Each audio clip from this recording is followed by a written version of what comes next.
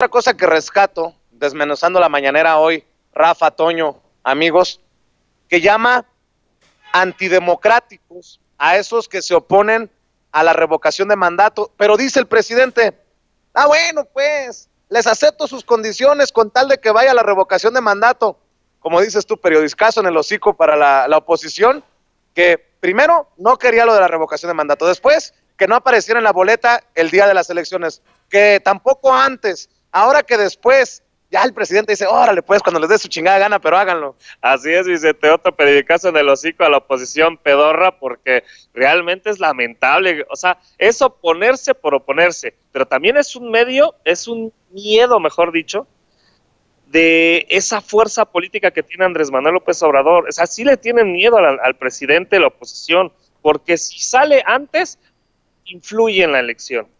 Durante, influye en la elección. Incluso después, también van a decir que influye en la elección. O sea, no, vamos, esta oposición, nada más el chiste es estar chingando y estar en contra del presidente Andrés Manuel López Obrador, diga lo que diga. Y aquí el presidente pues sale y dice, bueno, pues como quiera, Ninguesú, pero el madrazo que les dice que son antidemocráticos tiene toda la boca llena y atascada de razón porque es la realidad del panismo. Son antidemócratas. Ahí está Fox con un fraude electoral en 2006. Mi querido Toño, antidemocráticos, otro de los trancazos que deja ojo morado en el panismo. Sobre todo ayer escuchaba a una senadora del PAN eh, decir que estaban en contra, decir que estaban en contra, decir que estaban en contra, y yo en lo personal estoy en contra, y esas son las explicaciones que dan, y a veces raya en lo ridículo, y no estoy exagerando, habría que buscar en las declaraciones en los medios de estos senadores del PAN que se oponen, bien dice Rafa, por oponerse. No, y es que fíjate cómo utilizan un discurso eh, completamente opuesto a lo que realmente es la revocación del mandato. La revocación del mandato busca que los mexicanos podamos determinar a los tres años del sexenio de un presidente si se queda o se va. Eh, es, es, totalmente claro.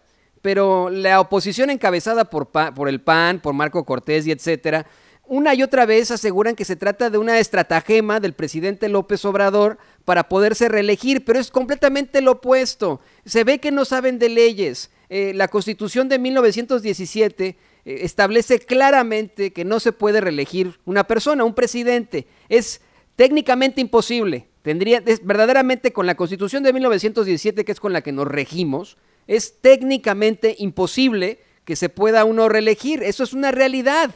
Y, ellos lo están ocupando para eso, con ese discurso, con todo lo opuesto, como si se tratara de la gran mentira de Joseph Goebbels, el ministro de difusión y propaganda de Adolfo Hitler, eh, están utilizando una mentira que quieren perpetuar, porque yo lo he escuchado, Vicente, entre los círculos del poder, entre los círculos de las personas que están en la clase media y en la clase alta, dicen, ah, es que eso de la revocación del poder es para que se reelija a López Obrador y no sé qué. Yo les pregunto, o sea, ¿cómo? ¿Y, y cómo?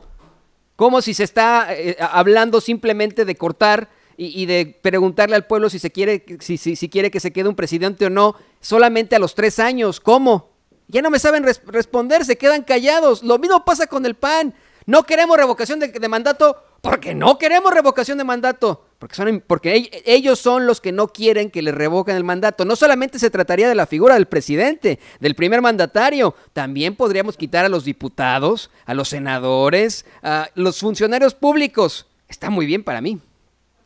Además sería una segunda derrota histórica, se me hace, entendiendo las encuestas que hablan, muchos me critican, ¿de dónde chingados sacaste ayer para debatir con Van Pipe?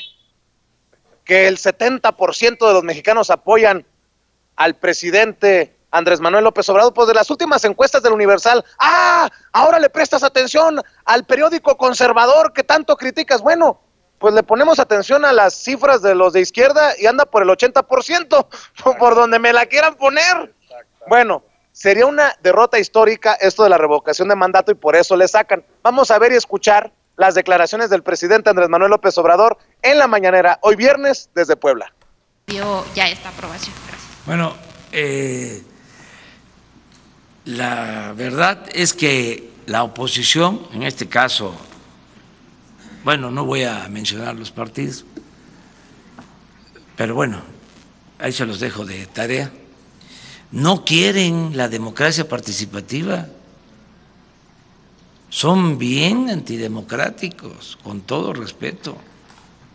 Gracias, Toño. ¿Cómo no van a querer la revocación del mandato? Si es una práctica fundamental de la democracia. Si el pueblo pone y el pueblo quita. ¿Por qué tantos obstáculos? ¿Por qué tanta tardanza en aprobar que a mitad del sexenio se le pregunte a los mexicanos, ¿quieres que siga el presidente o que renuncie? ¿Por qué se oponen a eso? No tienen vocación democrática. Madres. Y ahora que aceptan, pero eh, con condiciones. Primero, 3% del padrón. Estamos eh, hablando de que hay que reunir eh,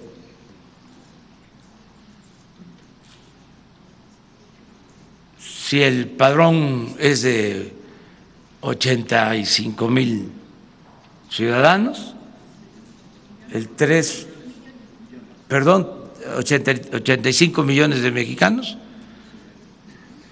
eh, sería como dos millones y medio de firmas. ¿Por qué tanto? Con un millón, que la pongan más sencilla. ¿Cuántos este, se requieren para hacer un partido político?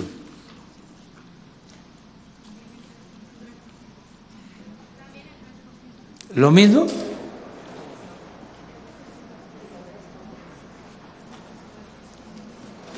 Creo que no. Sí. Pues Sí. ahí están las declaraciones del presidente Andrés Manuel López Obrador, que seguramente tendrán eco y llevarán al, a los berrinches ya habituales de la oposición, porque el autoritario López Obrador utiliza desde el púlpito de la mañanera para atacarnos a los que somos antidemocráticos. Ah, no, no, eso no, ¿verdad?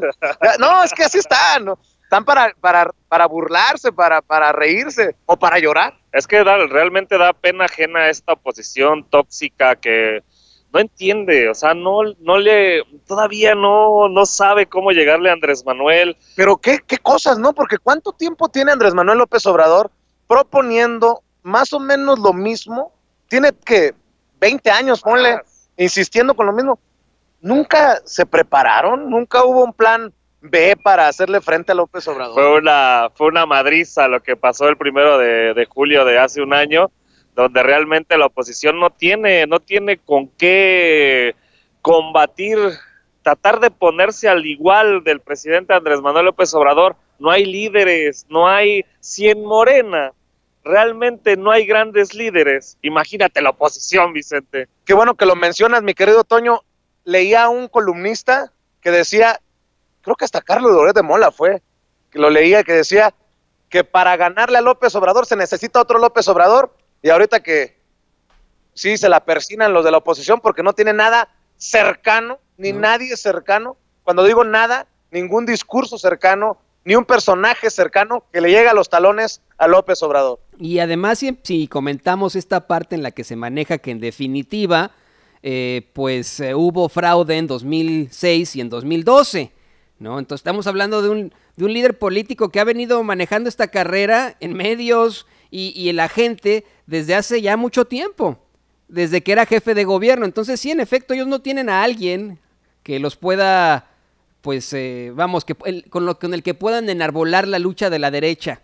No hay derecha en México. Y esto, Vicente, te lo digo a ti, te lo, se lo digo a Rafa y se lo digo al público consentidor, no es del todo positivo. Se necesitan de todo tipo de voces eh, en un país para que las... No, no estoy hablando de la ultraderecha, eh, no me malentienda. Se necesitan de todo tipo de voces en la, en la oposición para, para poder eh, eh, pues llevar a, a- a buen fin a un país. Como bien lo dijo hace rato Gerardo Fernández Noroña, tan mal andan que tienen que rescatar como líderes a Felipe Calderón y a Vicente Fox. Oye, por cierto, antes de presentar a nuestro invitado especial,